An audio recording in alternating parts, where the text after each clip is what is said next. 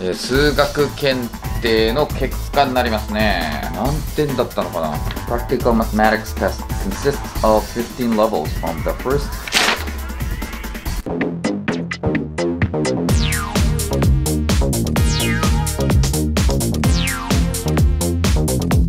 Hello で始まりました。ムテチャンネル。さあ、今回はですね、帰ってきました。数検の検定、定数検の検定ってなんだ、えー数学検定の結果になりますね。はい。水、俺、現金ですかね。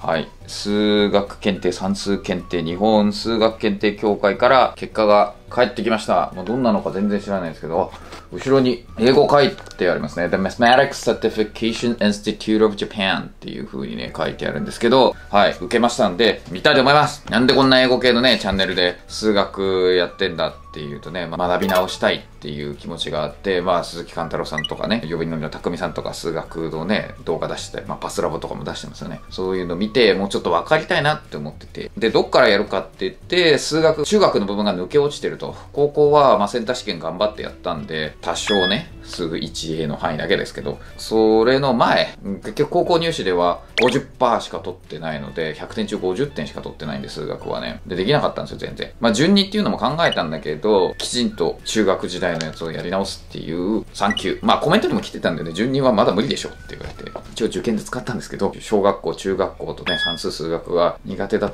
まあ、この参考書もね、やったり、カンタロさんとこ行って、聞いたりとかね、やりましたが、問題集とかね、まあ、これになると一気に難しくなったけどね、やっぱ過去問やった方がいいって言われて、もし3級ダメだったら今度は過去問買います。一生懸命やった結果、見たいと思いますね。これで合格してたらいよいよ高校の数学のお勉強に行きたいと思いますんで。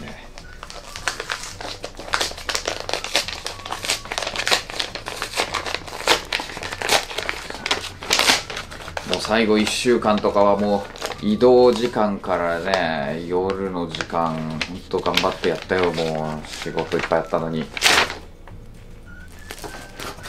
わあ、何も釣ってない。よかった。もうこういう合格のやつ釣ってんのかと思ったら。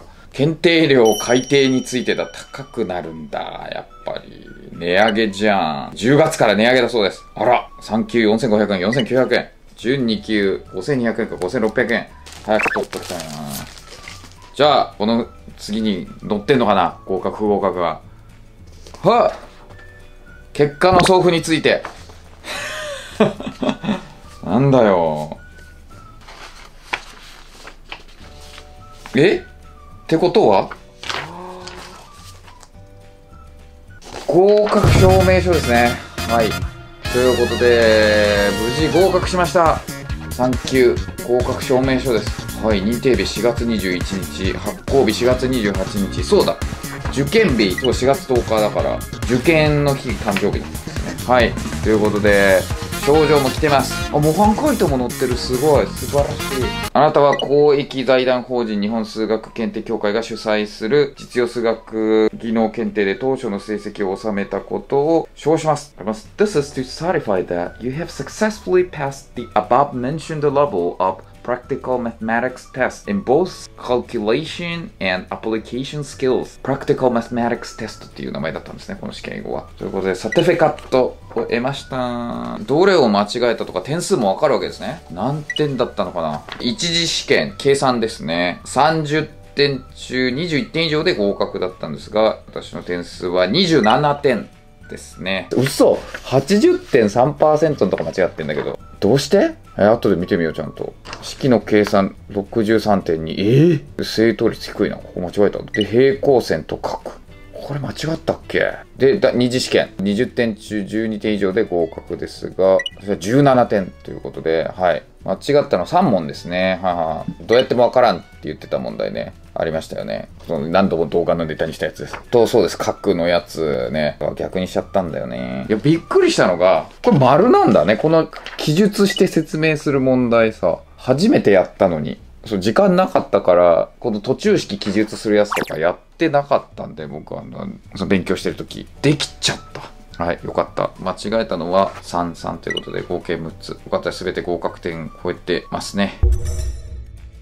まあ一応英語系のチャンネルとして英語で説明がなされてますね。そんなこと言ってもあれ説問全部日本語で書いてあったんですけどね。Practical Mathematics Test consists of 15 levels from the first Q, first Q to the 11th Q Q な consist of ね、はい、構成されてるとね and gold star and silver star へえ金星銀星があると Each level tests the following mathematical skills. The first Q to the fifth Q consists of two sections. Section 1, calculation test, and section 2, application test. 計算技能と数理技能検定があるんですね。Mathematical skills needed to independently and collaboratively for the developments of the information society, environmental preservation, and economic activities in our world. これ、過去文章 needed でかかってて、あの、further 動詞ですね。推進する。で、 順位級、prefirst 級。級って面白いな。mathematical skills needed to creatively solve problems within an information society.